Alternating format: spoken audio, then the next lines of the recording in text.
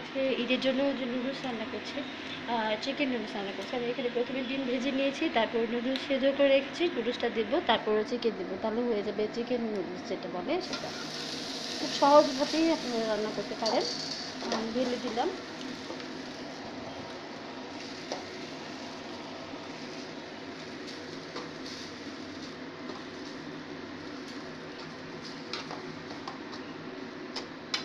সাথে চিকেন চিকেনগুলো দিয়ে দিচ্ছি।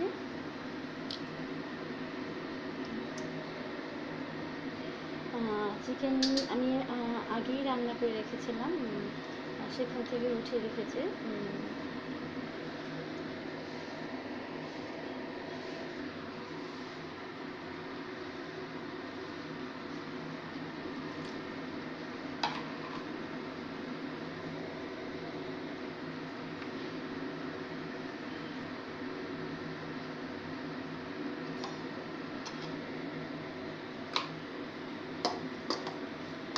এবার আমি অল্প একটু টেস্টিং সল্ট দিব সাথে।